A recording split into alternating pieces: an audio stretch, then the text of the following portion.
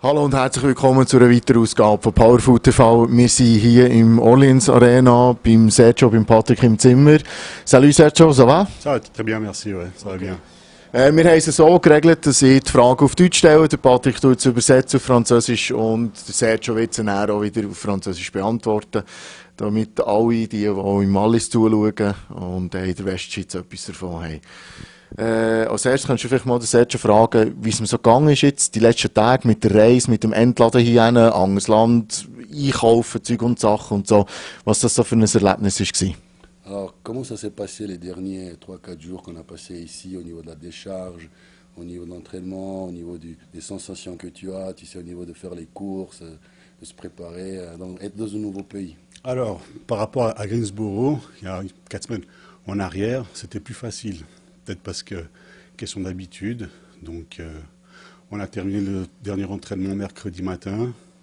On a commencé à recharger tranquillement. Donc, pour moi, pour l'instant, vraiment, ça se passe très très bien. Mieux qu'à Greensboro, en tout cas. Also für ihn ist bis jetzt reibungslos gelaufen, äh, besser als in Greensboro, hat er ein bisschen mehr Stress gehabt, jetzt fühlt er sich äh, ein bisschen ruhiger und äh, alles ist im Griff. Hat er das eigentlich schon realisiert, dass er eigentlich jetzt hier am wichtigsten Wettkampf ist für den Bodybuilder?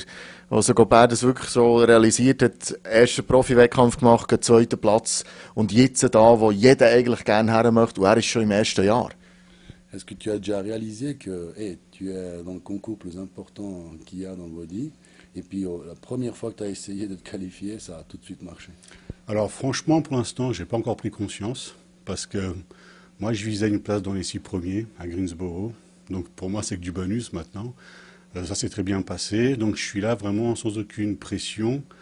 Ju- Juste faire de, mon mieux. Quoi. Je suis prêt, je me sens bien, tout se passe bien. Il y a Patrick avec moi cette fois-ci. Donc euh, ça ne peut que bien se passer. Et puis après, c'est dans, les- mains des juges. Quoi. Moi, je peux rien faire d'autre. Pour cette année, en tout cas, j'ai fait ce que je pouvais au maximum. Also er hat es noch nicht so richtig, äh, wie sagt man, äh, realisiert. Äh, wo für ihn ist, ist wirklich nie eine Frage gewesen, dass er Mr. Olympia will gehen Er hat immer gedacht, hey, mach mal ein Top 6 in meinem ersten Profi-Wettkampf. Und dann schauen wir mal weiter. Und er hat es jetzt geklappt und äh, er ist äh, umso zufrieden. Aber er, hat, er macht sich keinen Druck. Er hat, äh, alles, was kommt, nimmt er, äh, nimmt er gerne, ohne da jetzt grosse äh, Sachen wollen zu machen, ohne da grosse Platzierungen wollen zu machen. Er hat das Jahr das Beste gegeben. Er, hat, er fühlt sich gut. Er hat die, die, alles gemacht, äh, was nur ist möglich war, um in Form zu kommen. Und Also alles, was jetzt kommt, ist nur noch äh, Zucker auf dem Kuchen. Aber äh, nervös ist schon ein bisschen, also ich wäre so. Mais t'es quand même un peu nerveux, anxieux ou pas? Non, même pas, franchement. Je suis, plus- enfin, je suis plus nerveux par rapport à l'interview que par la compète elle-même. Quoi. La compète, pour moi, c'est que du bonus. Donc, euh, Also der Wettkampf ist ein Bonus für ihn und äh, er ist jetzt nervöser mit dem Interview zu machen, als äh, einen Wettkampf, auf einen Wettkampf zu gehen. Ähm, wir haben auch noch ein paar Posen gesehen. Wir sind jetzt 48 Stunden vor dem Wettkampf. Äh, die Form ist ja eigentlich schon relativ gut. Was ist jetzt noch das weitere Vorgehen? Was passiert jetzt noch? Alors maintenant, on est à 48 heures du concours. La forme est déjà relativement bien. Mais qu'est-ce qui va se passer d'ici jusqu'au concours encore alors, le gros problème, c'est de gérer le poids, parce qu'il faut être à 202. Et c'est vrai que j'ai toujours tendance à être un peu plus haut. Mais bon, ce matin, je me suis levé, j'étais à 203. Donc maintenant, on va juste gé- gérer par rapport à ce qu'on mange pour maintenir ce poids jusqu'à la pesée, pour faire pile poil 202, puis ensuite pouvoir recharger peut-être un peu plus, pour être un peu plus plein sur scène, pour, être, pour, avoir les 2-3 pounds qui manquaient à Greensboro il y a 4 semaines en, arrière.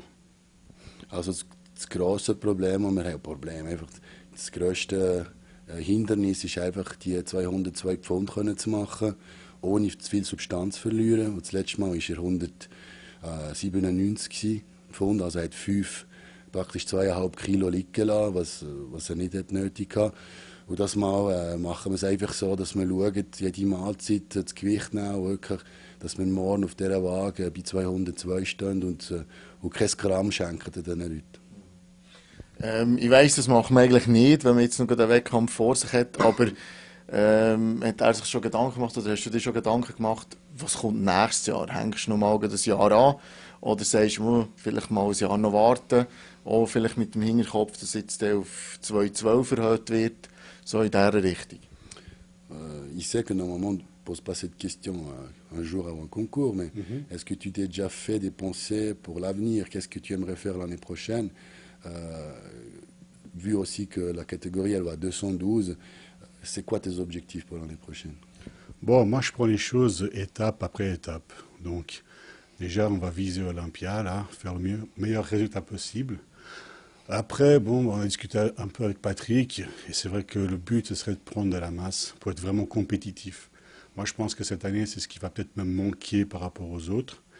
Après il faut voir sur scène, hein, à côté des autres, ce que ça va donner, mais mais l'objectif, ouais, ce serait pour, euh, pour l'année prochaine, ce serait de prendre un peu de masse musculaire pour être vraiment à la limite de la catégorie. Et puis, euh, ouais, puis viser une, une compète pro euh, dans l'année pour, euh, pour voir si on peut faire mieux que deuxième. Also das Ziel wäre natürlich schon, äh, nächstes Jahr in der 212 starten.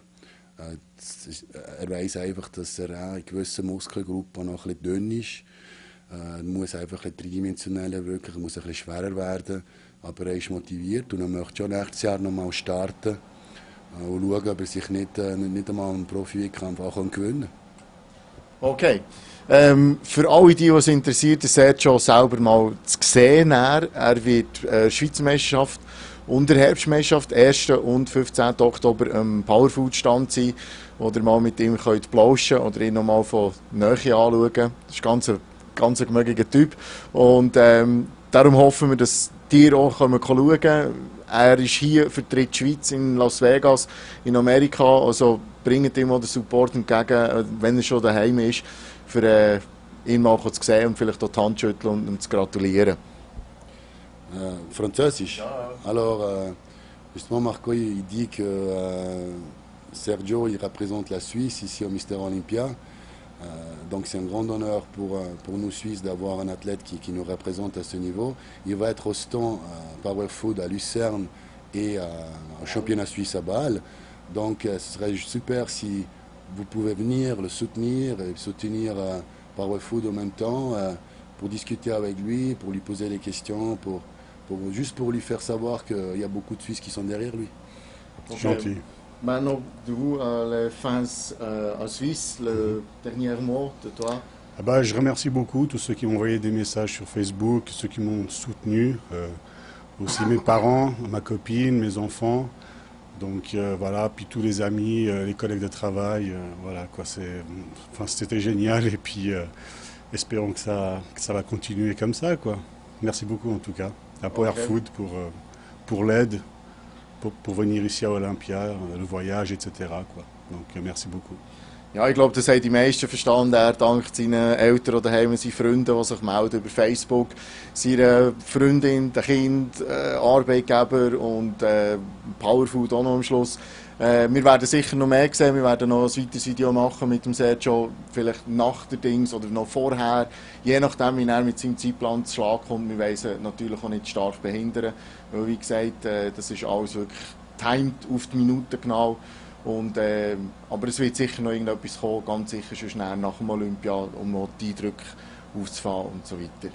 Okay, das war es hier aus dem Hotel New Orleans. Man sieht sich nächstens schon wieder beim nächsten Event. Und äh, das wird wahrscheinlich die Pressekonferenz sein, die heute noch ist. Bis dann, ciao zusammen.